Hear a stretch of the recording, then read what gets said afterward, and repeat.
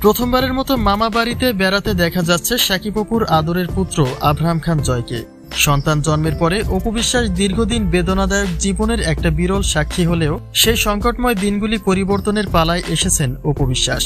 বলা যায় যে সন্তান জন্ম দিয়ে জীবনের গতিপথ থমকে গিয়েছিল। আর সেই আব্রাহামকে ঘিরেই আলোকিত অপু বিশ্বাসের ব্যক্তি জীবন। আর তার চেয়েও মজার বিষয় এই সন্তানের কারণেই মাথার উপরে একটা ছায়া হিসেবে সাকিবকে ফিরে পেয়েছেন অপু বিশ্বাস। কথায় আছে, দুনিয়াতে যার কেউ নেই, তার আল্লাহ রয়েছেন। প্রকৃতপক্ষে আপনজন বলতে অপুকে দেখে রাখার একমাত্র মা জননীকে হারিয়ে একা হয়ে পড়েছিলেন অপু বিশ্বাস। আর তারপর থেকেই সন্তানকে ঘিরে সাকিবের এগিয়ে আসা। এবং অপু বিশ্বাসের কাজের দায়িত্বে থাকা লোকগুলি যারা আছেন, তাদের কারও সাথেই অপুর এখন মালিক আর কর্মচারীর সম্পর্ক নেই। তাদের সঙ্গে ভাই বোনের একটা সম্পর্ক গড়ে উঠেছে তার। আর সেই সুবাদে অনেকগুলি মামা পেয়েছে আব্রাহাম খান জয়।